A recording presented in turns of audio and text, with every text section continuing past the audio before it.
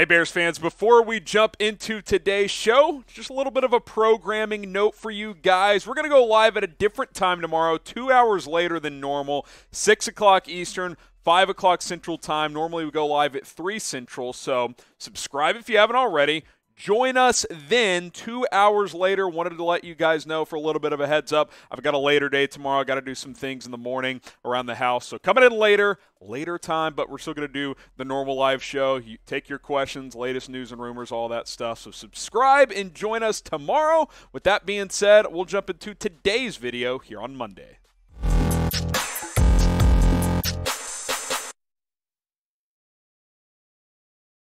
Welcome into Chicago Bears Now. I am your host, Harrison Graham. We got some news to get into and some other topics to explore later on as well. But as you guys know, Bears rookie minicamp is in the books, which means some roster moves have happened. The Chicago Bears Twitter account let us know themselves, right? We have signed six players who participated in rookie minicamp. They also cut six players. We'll talk about the guys they signed first. Uh, Christian Albright, the linebacker out of Ball State, who uh, I saw a lot of hype around him on the internet over the weekend, so that's cool. Jon Alexander, the safety out of Charlotte, AJ Thomas, another safety out of Western Michigan, Northern Arizona defensive end Carson Taylor, uh, Ohio running back De'Montre Tuggle, which means uh, bad news for Master Teague. We'll get to him in a second. And then, yes, my alma mater's finest, Antonio Ortiz, a long snapper, so maybe he'll compete for, with Patrick Scales. He's coming, Scales. Uh, we'll see what happens there. But six players signed.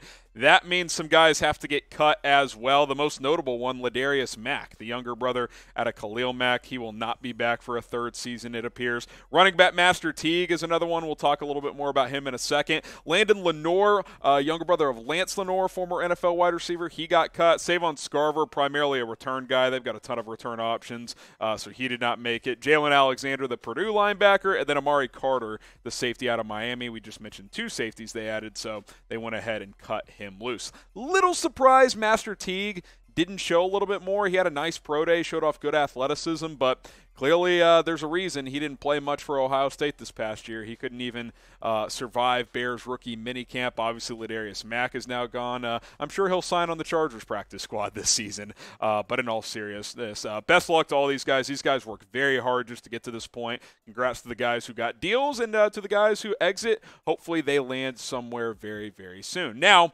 name an undrafted free agent rookie, a rookie this year that will make the Bears 53 man roster. I'm going going with the Wisconsin linebacker, Jack Sanborn. Let me know what you guys think. Pinned comment on today's show. So if you get hit with that YouTube ad break, give me one rookie that was not drafted that you think has a chance to make this team.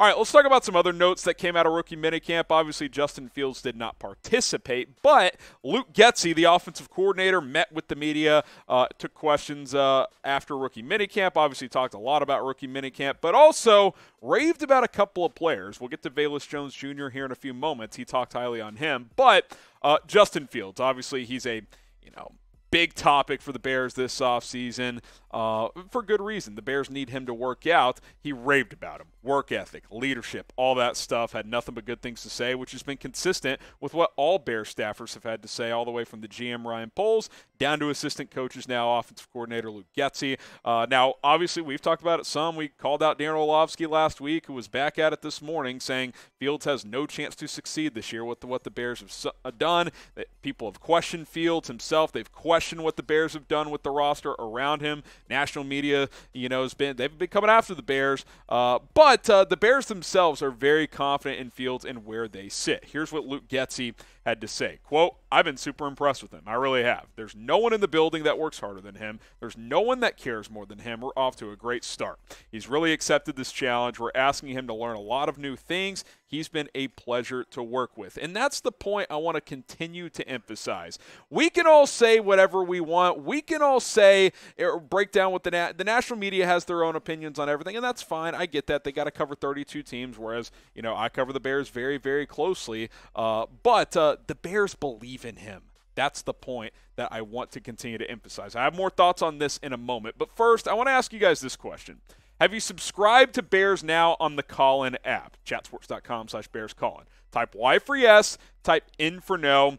Type in if you have no idea what the hell I'm talking about, or if you just haven't done it yet. Type Y if you're like, yes, and it's awesome. Let me know. Want to gauge you guys. Type Y for yes, type in for no. If you haven't, I encourage you guys to do so because uh, we partnered up with the Callin app a couple of weeks ago. It's basically Twitter Spaces meets podcasting. It's much better than Twitter Spaces uh, because this is how it works audio social podcasting app. We're going to go live at least once per week, including this Wednesday. I'll give you the time in a second. Uh, and like Twitter Spaces, you can hop into the caller queue, the caller line, request to talk to me, ask your questions. It's your chance to call in and connect with me. It's also my chance to connect with you. I love answering your questions on our Tuesday live shows, but I want to hear your voices. I want to hear your opinions, and that can happen with the Callin app. So subscribe today, chatsports.com slash Bears Callin. I know over 20% of you guys watch our shows on TV via Fire Stick or whatever it may be, uh, smart TV. Uh, if you are if you're one of those, here's a QR code. Take a picture with your phone right now. Boop Splash it. Boom. Here's my phone. Just took a picture. Uh, it redirected me to the Callin uh, app. Click the subscribe button. We're going to go live this Wednesday, 6 o'clock Eastern, 5 o'clock Central Time. Kind of like our live show on YouTube tomorrow. Same time as that. 6 Eastern, 5 Central. Subscribe. Join us. We'll answer all of your questions. We can talk about any schedule leaks that may have dropped by then because the schedule drops Thursday. We'll have a blast. I want to continue to connect with all you. Please subscribe if you haven't, and we will see you on Wednesday on Callin. Back to the field stuff. Getsy praising them. Here's my take on all of it because there seems to be a split. Bears love him. They continue to say they believe in him. He's going to grow despite not investing major money and pieces around him. National media, he's screwed with what the Bears have done. Here's my take. Despite the national media having no belief in the Bears and in Justin Fields, I think he's going to shine. I think he's going to take major steps this year uh, and, and, be a good player. Now, I'm not going to I'm not going to sit here and say the Bears couldn't do more to help him. I think so. I've been consistent with that.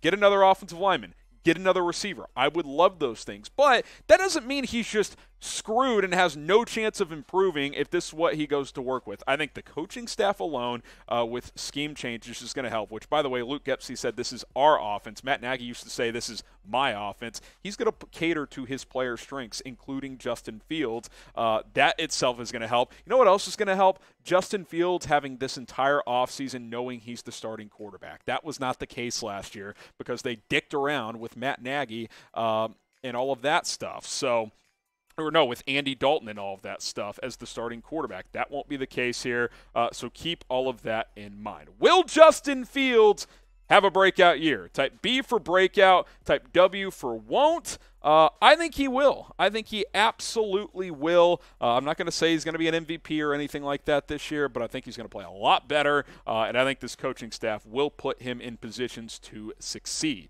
All right, final story here. Velus Jones Jr. continues to impress. Had a strong rookie minicamp. Getsy raved about him as well. Uh, said he has an all business approach. Uh, we'll explain more so of what he means by that in a second.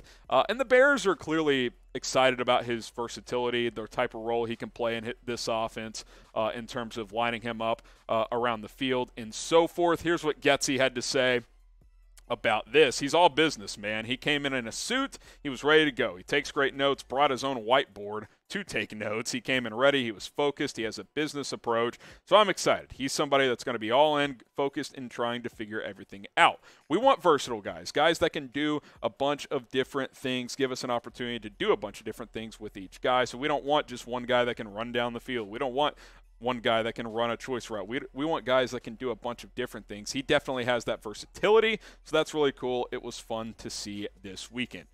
This guy's going to have an impact from day one. I'm just telling you right now. Uh, you know, the raw reaction we had when they made the pick, Velus Jones in the third round. Well, the Bears have a plan for him. This is clearly a guy they studied and said, you know what? If we end up with this player, uh, we think he can do you know, five different things for us. He can be an elite return man, both as a kick and a punt returner. He can take jet sweeps. He can run different routes. Uh, you can dump quick screens to him and get him out in space with his elite 4-3 speed in the 40-yard dash. He can break tackles. He's built like a running back. Uh, they have a plan for him, uh, and he's come in with the right attitude of saying, hey, I want to be an impact player. He keeps talking about how he's talked with Justin Fields every day.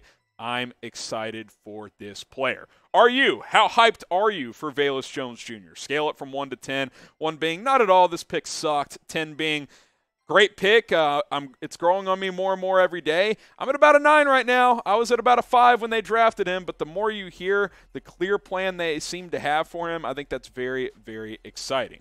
And that's because he's more than just a gadget guy. He showed his last year at Tennessee he can be an impact player as a receiver with over 13 yards per catch, over 800 yards, and seven touchdowns. I think he plugs in and he's your number three receiver, but again, I think he's just an offensive weapon. You look at the depth chart, you know, Darnell Mooney, Byron Pringle are going to be guys that can uh, get some separation. Again, I don't think Pringle's a pure number two, but I think Velus Jones with his role, he's going to do so many different things that he's going to help this offense week in and week out. I expect Luke Getsy to utilize his strengths. He talked about the versatility. Now it's about putting him in positions to succeed. You've got a player that's got good athletic traits and has some skills. Now it's up to the Bears to get him the football at the right time in the right places. And, uh, you know, until we see these guys play games, we won't know for sure, but I feel like we're hearing the right things, they're saying the right things. Now it's going to uh, come down to if they can prove it once football season gets here.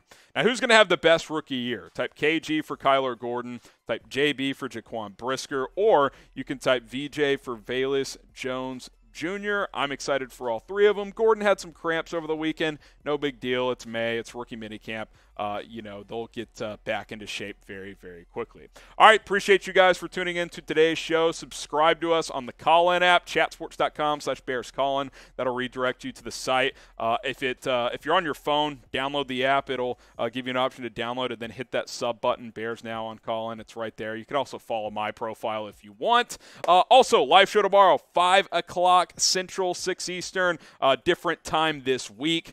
so don't miss out on that because uh, we still want to answer all of your questions and do all of this stuff. YouTube.com slash Bears Now here on YouTube. Appreciate you guys for tuning in. I've been Harrison Graham. We will see you guys soon here on the channel.